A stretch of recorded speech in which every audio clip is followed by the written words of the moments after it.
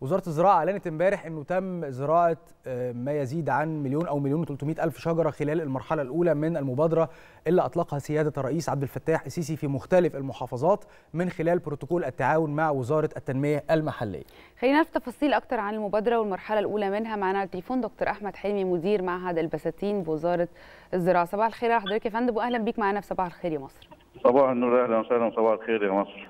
أهلا بحضرتك. يعني في البداية حابين نعرف منك إزاي تم تقسيم المرحلة الأولى من زراعة ال 100 مليون شجرة وإيه كمان أنواع الأشجار اللي بتستهدفها في هذه المبادرة؟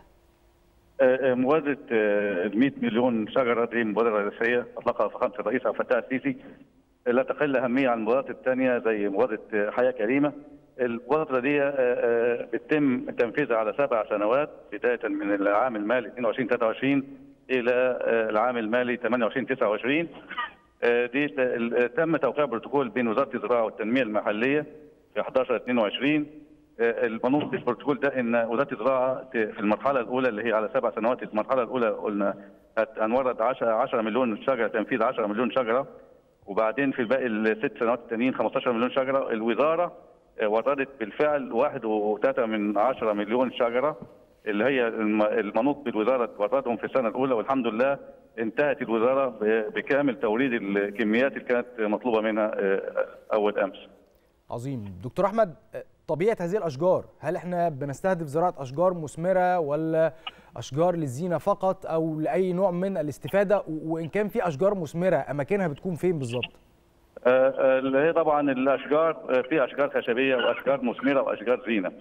الأشجار الخشبية زي الكافور والحور الأبيض والمهوجني والأشجار المثمرة زي الليمون البلدي والنبق والزيتون واليوسفي والرمان وفي اللي هي زي الحاجات المزهرة أو الزينة زي التيكوما والديفيت والدفلة والسرو البلدي حاجات كده يعني. يعني تشمل جميع أنواع الأشجار.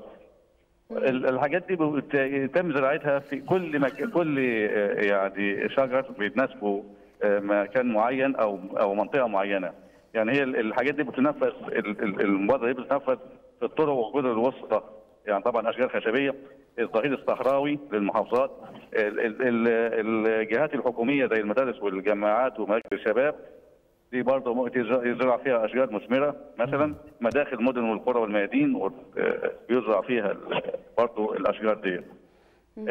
المبادرة دي طبعا ليها أهداف ساميه اولا ليها أهداف اقتصادية. أول حاجة التصدي مع الآثار السلبية بتاعه تغير المناخ بتقلل منها. التصدي برضه لمشكلات التصحر.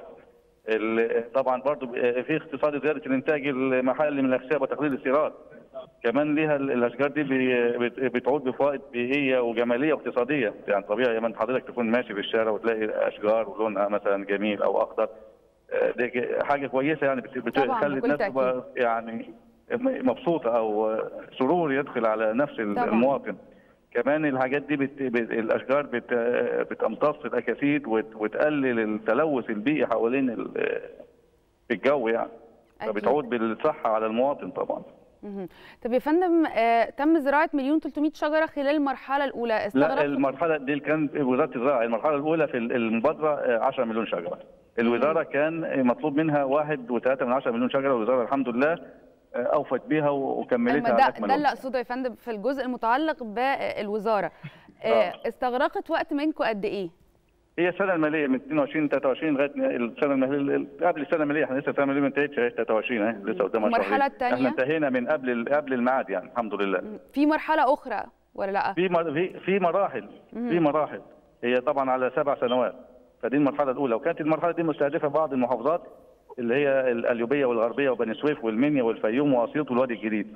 دي اللي كانت مستهدفه من المرحله الأولى بالنسبة لنا كوزارة زراعه يعني.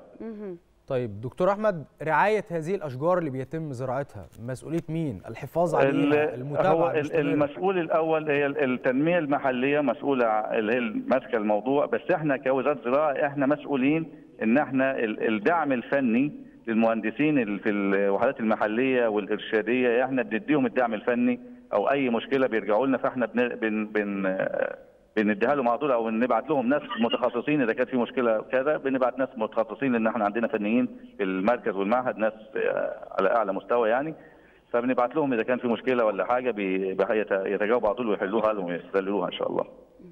طبعا بنشكر حضرتك جزيل الشكر الدكتور أحمد حلمي مدير معهد البساتين وزارة الزراعة مجهود كبير طبعا بنحيي حضرتك عليه يا فندم.